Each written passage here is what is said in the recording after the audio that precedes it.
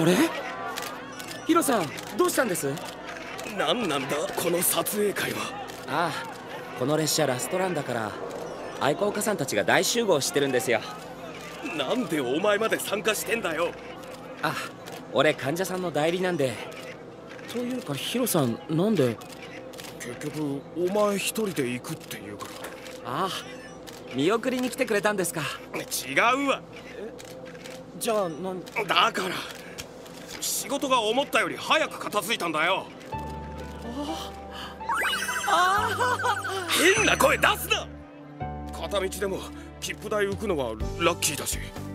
俺寝台って乗ったことなかったしな。ヒロさんありがとうございます。ヒロさんと一緒に旅行できるなんて俺すっごく嬉しいです。やめろよ。やめろよ。うっかりうっかりこっちまで嬉しくなる気がするじゃねえか。